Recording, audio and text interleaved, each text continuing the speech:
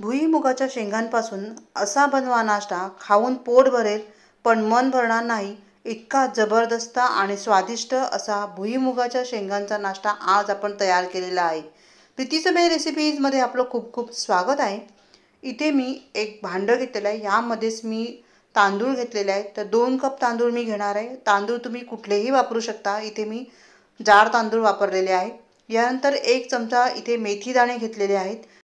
हे आपल्याला स्वच्छ दोन ते तीन पानाने धुवून घ्यायचं आहे. चांगलं चोळून चोळून घ्यायचं म्हणजे तांदळाची जी पावडर असेल ती निघून जाईल. तर या पद्धतीने मी तांदूळ जे आहेत ते आता दोन ते तीन वेळा स्वच्छ धुवून घेतलेले आहेत. धुतल्यानंतर ह्यामध्ये तांदूळ बुडतील इतकं पाणी घालायचं आहे. आता हे तांदूळ जे आहे ते पाच ते सहा तास आपल्याला भिजत ठेवायचे आहे. तर इथे झाकण ठेवलेलं आहे आणि तांदूळ आपण भिजत ठेवू. इथे मी घेतल्यात भुईमुगाच्या शेंगा. त्याऐवजी तुम्ही आपले शेंगदाणे घेतले तरीसुद्धा चालू शकेल. मात्र शेंगदाणे घेतले तर ते तांदळासोबतच तुम्हाला भिजत ठेवावे लागतील. मला इथे भुईमुगाच्या शेंगा मिळालेल्या आहेत. त्यामुळे मी हे दाणे जे आहेत ते काढून घेते. हे ओले दाणे असल्यामुळे आपल्याला भिजत ठेवण्याची गरज नाही आहे तर या पद्धतीने मी हे दाणे जे आहेत ते सर्व काढून घेणार आहे. तर अशा पद्धतीने हे दाणे जे आहेत ते मी आता सर्व काढून घेते आहे. पाच ते सहा तासानंतर तांदूळ आणि मेथीचे दाणे जे आहेत ते मस्त असे फुलून आलेले आहेत छान भिजलेले आहेत.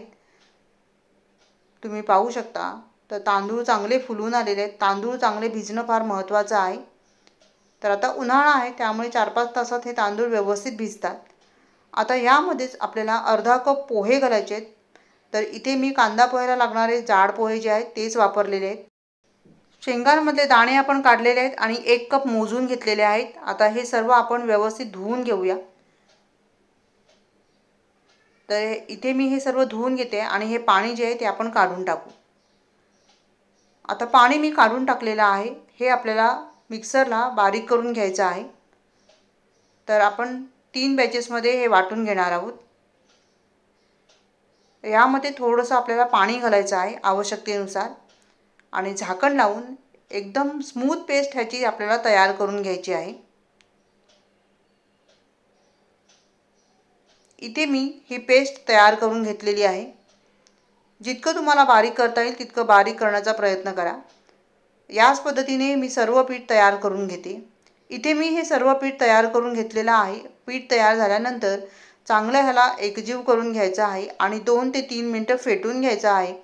फेटल्यामुळे काय होतं? ह्यामध्ये हवा निर्माण होते आणि आपण हे पीठ आंबवण्यासाठी जेव्हा ठेवू तेव्हा चांगलं फुलून येते. तर आता झाकण लावूया आणि हे पीठ जे आहे ते रात्रभर आपण आंबवण्यासाठी ठेवून देणार आहोत.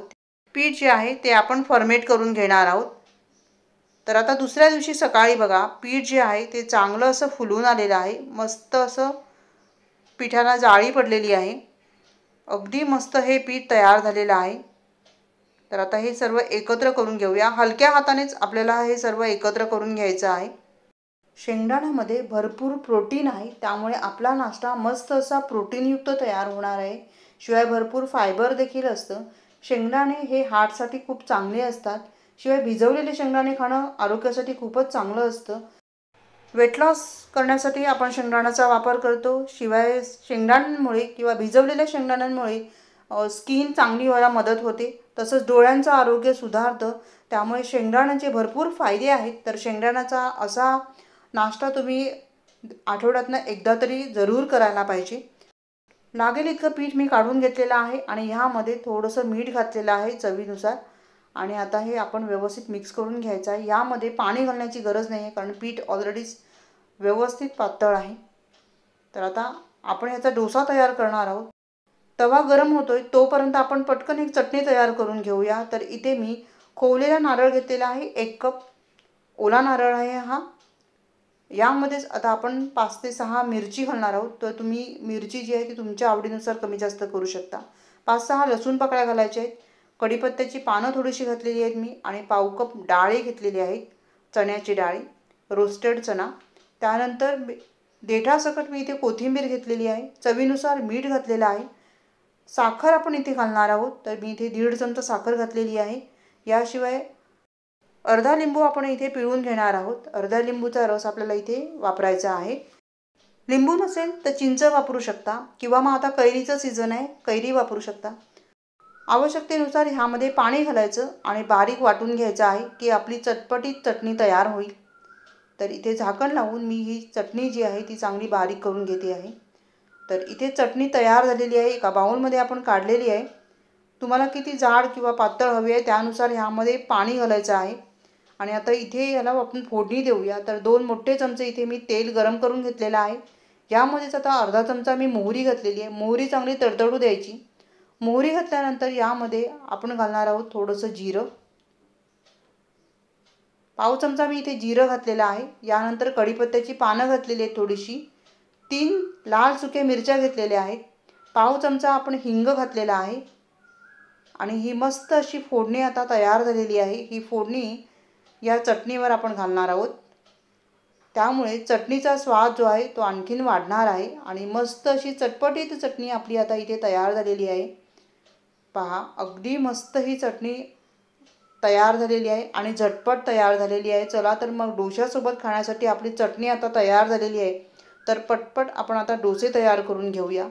इथे मी कास्ट आयरनचा तवा घेतलेला आहे. तवा चांगला गरम करून घ्यायचा. थोडंसं तेल घातलेलं आहे आणि कांद्याने तेल जे चोळून घ्यायचं कांद्याने तेल चोळल्यामुळे डोसा जो आहे तो तव्याला चिकटत नाही. आता पीठ जे आहे चांगलं घोळून घ्यायचं आणि यानंतर पीठ जे आहे ते तव्यामध्ये घालायचं आहे. तर इथे मी दीड पळी पीठ घेतलेलं आहे आणि हलक्या हाताने हा डोसा आता आपल्याला पसरवायचा आहे. अगदी मस्त असं गोल गोल फिरवत राहायचं.